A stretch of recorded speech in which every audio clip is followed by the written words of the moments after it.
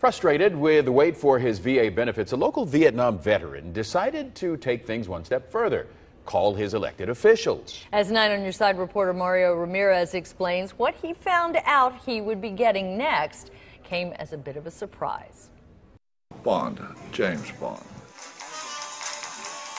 No, not that Bond. Although James Edward Bond's past is shrouded with mystery, today it's being brought to light. I did things back then that were normal for a veteran to do.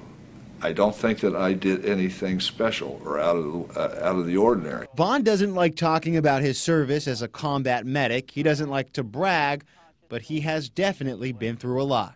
It's been a long process. He suffered three strokes and was diagnosed with diabetes. The application process for his medical benefits was taking longer than he'd expected, so he decided to call his local senator, Sherrod Brown. That's when he found out he was getting more than just medical assistance. I knew I received the awards, it's just that I did not get the medals. There is nothing as um, uplifting or inspiring for me to get to make presentations like this uh, to people who served our country. That 43 years later, he had not one, but seven military service medals delivered to him personally, including the Purple Heart.